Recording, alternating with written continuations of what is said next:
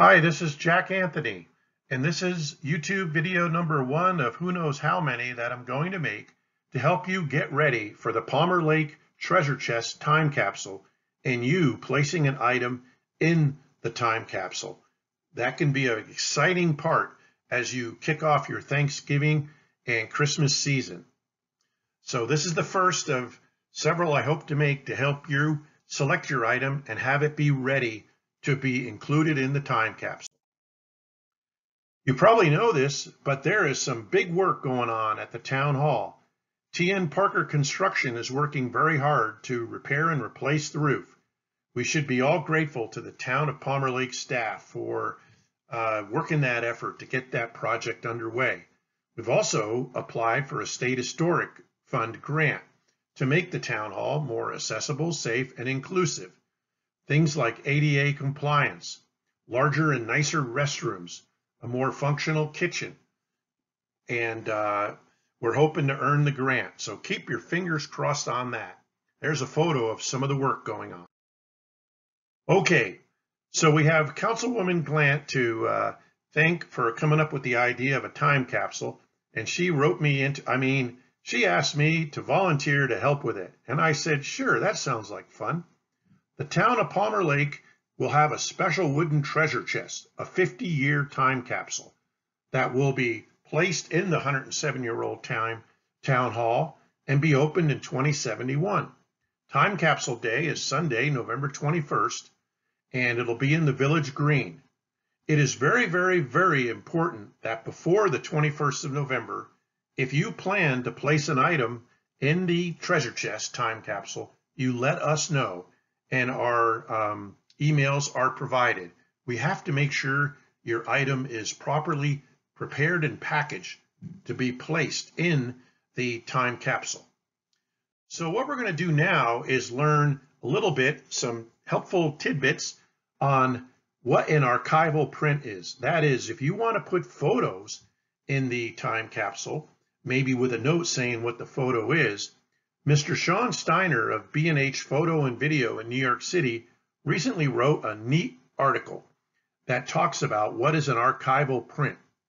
And that article is easy to find if you type in that big long address or if you just put in the keywords I've noted.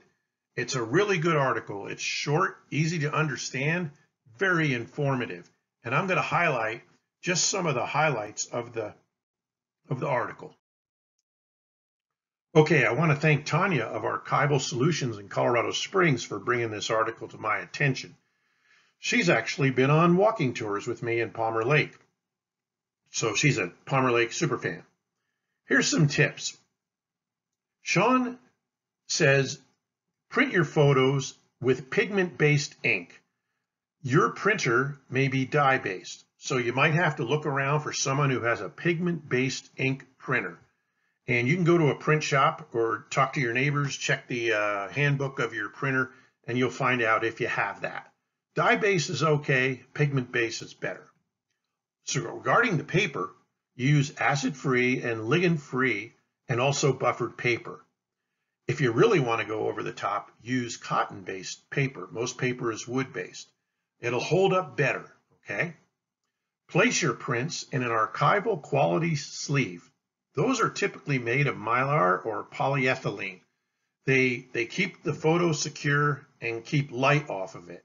Well, we're not going to have any problem with light getting in the time capsule, so don't worry about that. Avoid handling your prints with your skin. Wear cloth or cotton gloves. Skin acid can start the process of degradation, and that's not good if you're going to live in a time capsule for 50 years. I recommend reading the article.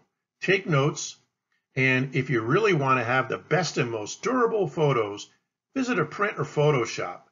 Speak with a photographer or do more research. But these tips from Shawn will be very, very helpful. And your reward will be when they open the time capsule, your photos will look almost as good as they did when you placed them in the time capsule on the 21st of November. Okay, one more slide. I want to finish with some cool historical photos of your town hall.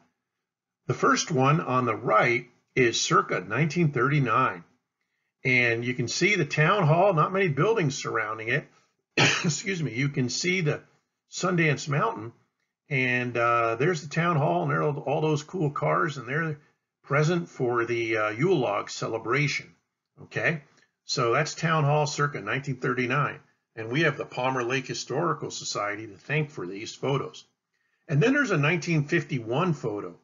And I want you to see that right there is the kitchen addition. That, that was done in uh, the late 1940s. So that's pretty cool. And uh, I thought you'd enjoy seeing. There's the town hall. And looky there. There is the elementary school. And who knows what this is? That's the 1935 Palmer Lake Star. By golly, it's a state historic site as well as the uh, town hall is. So what an awesome uh, town we live we live in. Okay, well that ends this video. It took me six minutes. That was my goal, so I'm gonna end it here. Thank you and be looking forward to the next video and get ready for Time Capsule Day 21 November.